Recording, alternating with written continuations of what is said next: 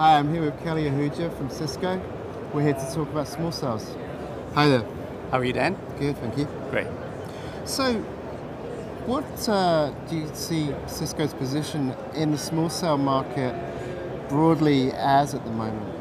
That's great. Uh, so, uh, Dan, we've done extremely well when it comes to certain types of small cells. So, for example, uh, we consider unlicensed small cells or unlicensed Wi-Fi deployments as a small cells as, well because they're deployed everywhere in indoor locations, outdoor locations, and venues, etc.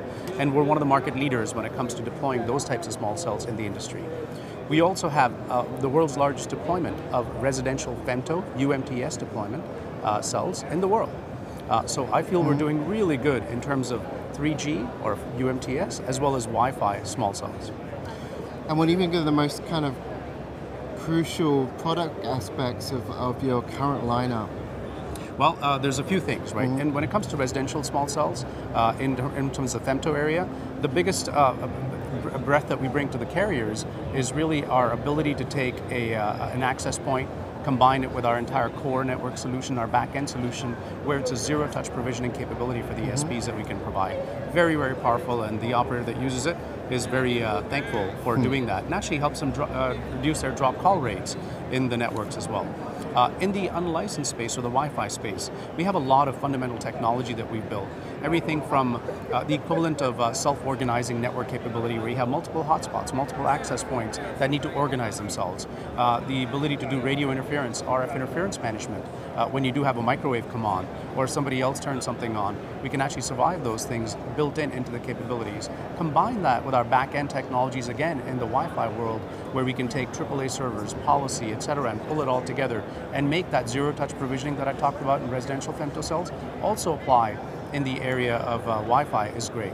The third thing is really bringing these two together from a, uh, Wi-Fi as well as a licensed network, a macro network, and really bringing them together into the same core network. And that integration part we're also very strong in. Okay. And obviously, we're getting to the phase where carriers look like they're going to start to deploy LTE small cells.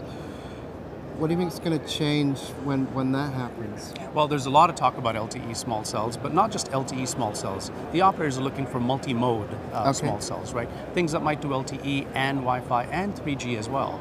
Uh, and uh, those are still in the early stages of discussions and deployments. There's a lot of uh, discussions about trials and testing that's going to continue for the next little while, and then deployments will likely start happening.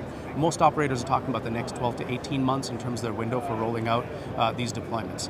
Now, uh, what's interesting in terms of requirements for these uh, not that much more than, than perhaps maybe the power level on the radio side, depending upon what location these cells are deployed in, the number of users that they need to uh, be able to handle, depending uh, again upon the deployment scenario where they put these, these cells in, uh, and other things around, uh, you know, perhaps how these small cells fit into the macro network uh, as well. So those are the kind of requirements that typically pop up. Now, to get very current for a moment, we're in Chicago. We're looking at the uh, remnants of uh, Tropical Storm Sandy, or whatever they are actually calling it right now, um, kind of coming up the lake shore. Um, I wondered how small cells and these kind of these micro cell situations, how you think they react to that kind of weather situation. Well, it's really situation dependent, right? So, for example, um, the, uh, the, the uh, tsunami that hit Japan uh, last year uh, caused some massive damage in the country on the infrastructure side. Right. Uh, and the operators in that country really thought about uh, two possible approaches, right? And they've still been kind of w- walking through these. One is to deploy supercells, where they actually have lesser number of nodes that are providing much broader coverage. And the second one is really how do they provide disaster recovery in that scenario by maybe even looking at small cell deployments, where you can limit the exposure down.